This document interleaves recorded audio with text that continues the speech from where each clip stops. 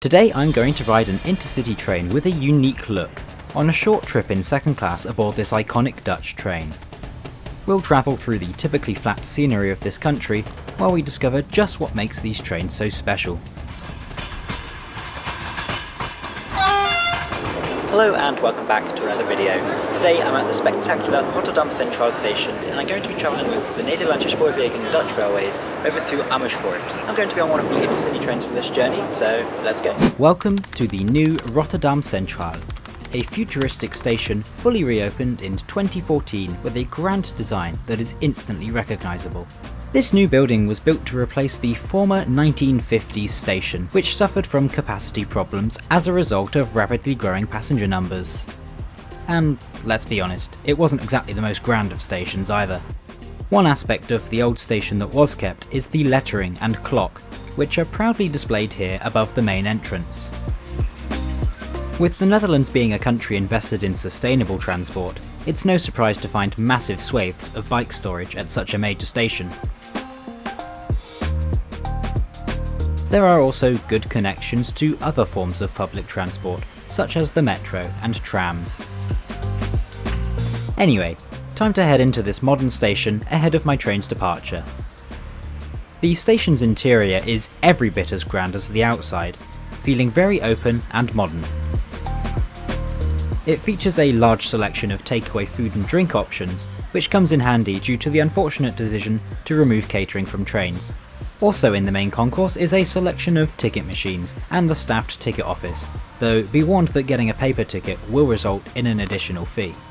Departures from this station run to all corners of the Netherlands and some international destinations, but my train today is Intercity 547, the 1305 to Meppel. Access to the platforms is only granted following an automated ticket inspection, which unlike those I've used in some countries, was simple and painless. This then leads to the station's main tunnel, from which you can access all platforms as well as additional shops and food outlets. My train is leaving from platform 14 at the far end of the station.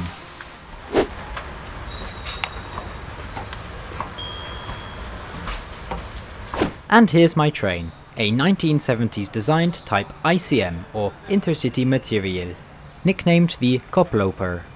The type is probably best known for having its cab all the way up here of all places, but more on that later. These units come in 3 and 4 car formations, with the ability to work in multiple when needed. My train today will be formed of two 3 carriage units.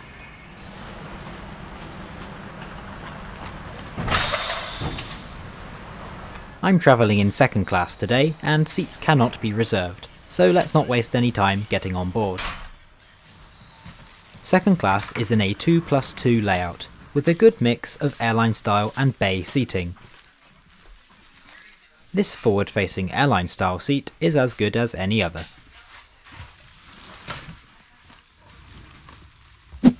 Today's route starts here in Rotterdam, the Netherlands' second most populous city. We'll be heading east passing through the city of Gouda before arriving into the major station of Utrecht Centraal, where the train reverses for the last leg of the trip, over to Amersfoort. This trip is scheduled to take 57 minutes to cover the 77 kilometers or 48 miles of track. Departure is on time at 13.05.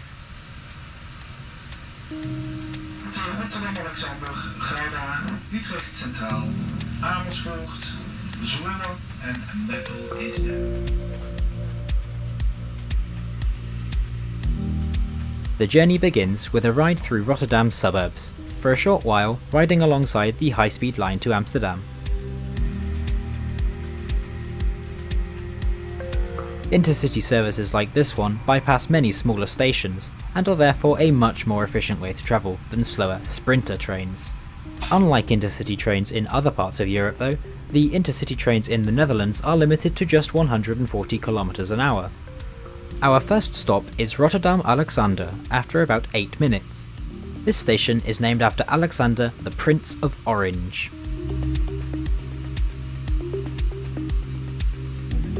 Back on the move, and it's time to look at the interior. First up, the seating. It's reasonably comfortable, with decent padding and a good shape. There's a leather headrest on top too. A downside has to be the seat's cover material, which is some sort of horrible rough vinyl thing. You can see the wear and tear, and it's not a good look. There's a big leather armrest found at all seats.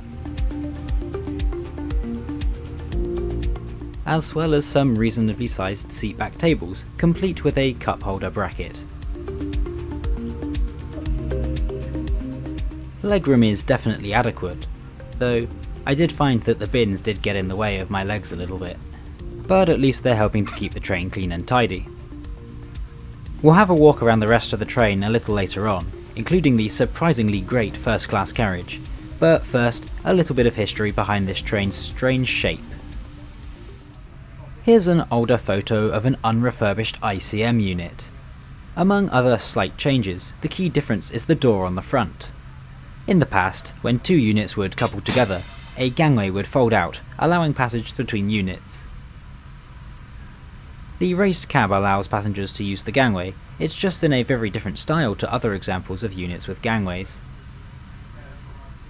Unfortunately, due to poor reliability, this feature was removed in the 2006 refurbishment of the fleet.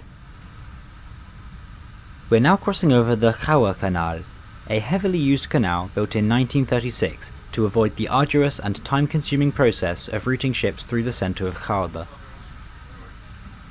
This is closely followed by a stop at the station of Gouda, and yes, before you ask, this is in fact the place the cheese gets its name from. The city being where all trade of Gouda cheese historically took place, even if produced elsewhere, due to the city then having exclusive trading rights.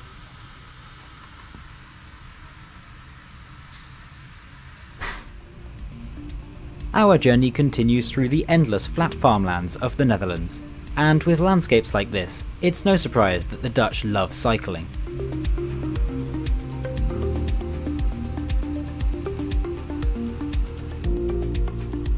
If the flat scenery fails to keep you entertained, then the train is fitted with free Wi-Fi. However, the speed is somewhat slow. So, time for a look around the rest of the train. First of all, we come to the toilet. I was a little bit confused about how to get in at first, but it turns out you just open up the entire wall.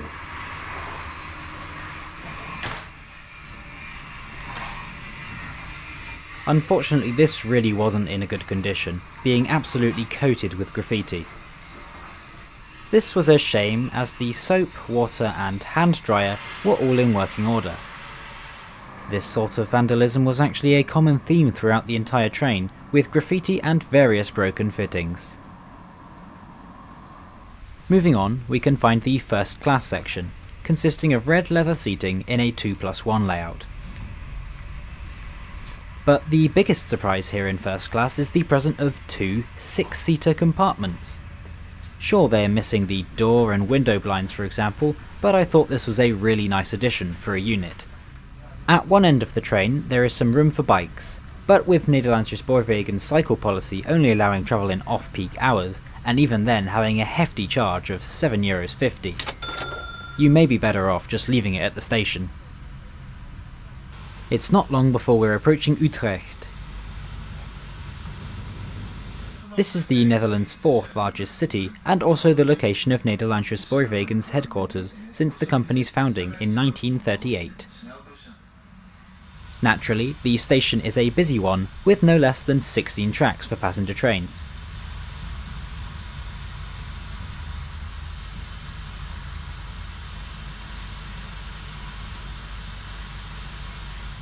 The station sees a very frequent service, with a train to Amsterdam running at least every 10 minutes.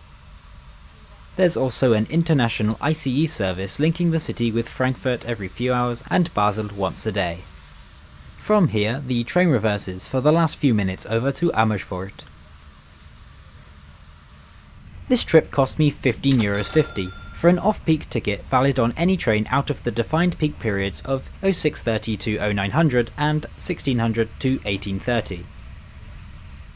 On this journey that gives a price per mile of about 27p, which I think is pretty expensive all things considered. The train arrives into Amersfoort Centraal just one minute late, pretty punctual considering the density and complexity of the Dutch railway network.